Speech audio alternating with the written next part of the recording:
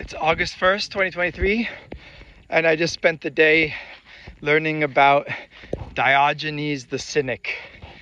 What an extraordinary character. I can't believe I didn't know about him. He was a contemporary of Plato's.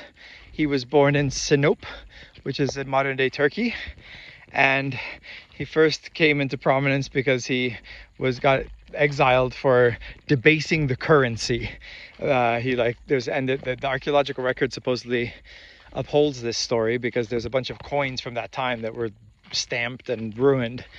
But it's actually uh, so a lot of these stories we don't know if they're apocryphal because they also have great uh, symbolic significance as well. So his whole life mission was debasing the currency of of civilized behavior insofar as we have a social currency and an expectation of how we're to behave. So he was called a cynic because uh, kynikos means dog like. And he thought human beings should behave more like dogs. Dogs live in the present, they are honest, and they uh, you know, are not ashamed. There's a shamelessness. They don't. Uh, they, they they urinate and defecate in public. Diogenes did that, and he also even masturbated in public.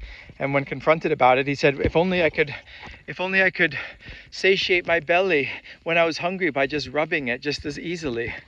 And there's just a million amazing stories about him. He hated Plato and hated the um, the pretenses of abstract philosophy, and uh, Plato taught was teaching his students about how man is a featherless biped.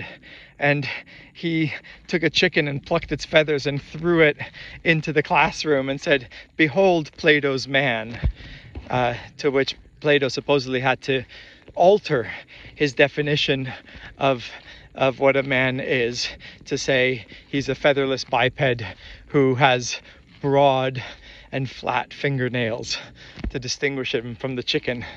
And and when one of Diogenes' students decided that he was being a cynic and living without any possessions was too much for him. He he decided to stop studying with Diogenes, but he said, "Can I have one of your books, please?"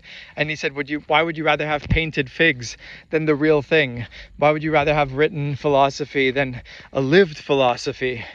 Um, and then, so Diogenes lived in Athens in a big clay pot, and he only had a cup and a spoon or something. And then eventually he saw a child like drinking from the river with his hand. And he said, I've been outdone in simplicity by the child who realizes that the cup isn't even necessary. And he threw out his cup. And then there's a there are so many other amusing stories about him that I want to see if I can remember just a few of them. He, um, there was a, they, they, uh, they asked, a young man asked him, should I get married? And he said, no, it's too soon to get married. And he said, should I get married when I get older? And he said, no, and then it'll be too late. Uh, he thought one should never get married. And he didn't understand why people made all this effort to you know find love and com- companionship. He thought these were all weaknesses that stopped people from being free.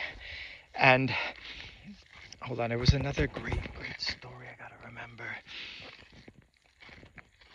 Let's see. When when he was dying he was uh, he was uh, asked what what they should do with his body and he said throw it outside the city walls so that people so that the animals can eat it. And everyone was shocked. And he said well give me a stick then so i can beat the animals away. And they said well you won't be able to beat the animals away because you'll be dead and you won't have any awareness or ability to move. And he said well if i won't have any awareness or ability to move why do i care what happens to my body? Um, and then oh one of the most important stories was alexander the great came to meet him, and he said, he came to, up to him to his big clay pot, and he said, "Well, um, what can I do for you? I'm Alexander the Great. I can do anything for you." And he said, "Step aside. You're in my sunlight." Another great story because it it also points to the idea that that I mean I'm I'm thinking about this on the spot, but it seems like Alexander the Great he was probably thought he was the most powerful thing in the world, and Diogenes was there to remind him that the sun is more powerful. That's behind him, and Alexander was respected Diogenes, so rather than punish him for this, he said, If I were not Alexander, I would be Diogenes, which pointed to the great power that Diogenes had over his own existence. It was a power that no one could take away from him. He used to like walk around barefoot in the snow and hug uh, frozen statues and beg them for for money. He said that would get him used to uh, uh, being rejected, and then he would get used to the being cold, and he would get um, uh, he would like roll around in the heat, uh, in the hot sand, again to try and free himself from being uh, afraid of the of the elements or of anything that can't be taken away from him. And Alexander, as he was leaving, said, uh, again, he said, if I were not Alexander, I would be Diogenes. And Diogenes supposedly looked up and said, if I were not Diogenes, I would still want to be Diogenes. So he would choose his own position over that of even Alexander the Great. And there are myriad other very funny stories that pointed to his wit, his irreverence. He would uh, supposedly there was a big banquet, and since he acted like a dog, they threw him scraps, and he responded by peeing on everybody. And again, this was all. Uh, oh, and then he was being sold into slavery, and he said, "Sell me to someone who, who needs me," and and sure enough, he was brought into a family, and he became a teacher for these children.